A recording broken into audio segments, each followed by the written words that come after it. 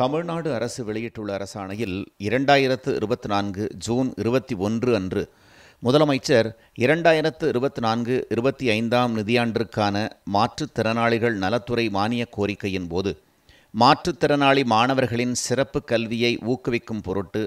கல்வி உதவித்தொகை வழங்கும் திட்டத்தை விரிவுபடுத்தி ஆராய்ச்சி படிப்பு மேற்கொள்ளும் மாற்றுத்திறன் மாணவர்களுக்கும் ஆண்டுதோறும் ஒரு லட்சம் ரூபாய் வீதம் ஐம்பது மாணவர்கள் பயன்பெறும் வகையில் ஐம்பது லட்சம் ரூபாய் நிதி ஒதுக்கீட்டில் முதலமைச்சரின் ஆராய்ச்சி உதவித்தொகை திட்டம் செயல்படுத்தப்படும் என தெரிவிக்கப்பட்டுள்ளது.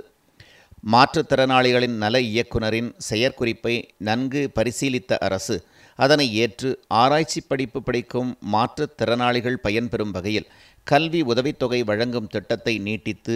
முதலமைச்சரின் ஆராய்ச்சி உதவித்தொகை திட்டம் என்று ஐம்பது மாணவர்கள் பயன்பெறும் வகையில் தலா ஒரு லட்சம் வீதம் ஐம்பது லட்சம் நிதி ஒப்பளிப்பு வழங்கி ஆணையிட்டுள்ளது குறிப்பிடப்பட்டுள்ளது. ஆராய்ச்சி படிப்பு பயிலும் மாணவர்கள் தங்களது விண்ணப்பத்துடன் மாற்றுத்திறனாளி அடையாள அட்டை தனித்துவம் வாய்ந்த அடையாள அட்டை ஆதார் அட்டை நகல் வங்கி கணக்கு புத்தக நகல் முழுநேர பகுதி நேர ஆராய்ச்சி படிப்பு பயில்வதற்கான உரிய பல்கலைக்கழகம் அல்லது கல்வி நிறுவனத்திலிருந்து பெற்ற ஆராய்ச்சி படிப்புக்கான ஆய்வறிக்கை வாய்மொழி தேர்வு தேதி வழங்கப்பட்டதற்கான ஆதாரம் மற்றும் தமிழகத்தை பூர்வீகமாக கொண்டதற்கான இருப்பிடச் சான்று முதலியவற்றை சம்பந்தப்பட்ட மாவட்ட மாற்றுத்திறனாளிகள் நல அலுவலரிடம் கட்டாயம் சமர்ப்பிக்க வேண்டும் என்றும் கேட்டுக்கொள்ளப்பட்டுள்ளது.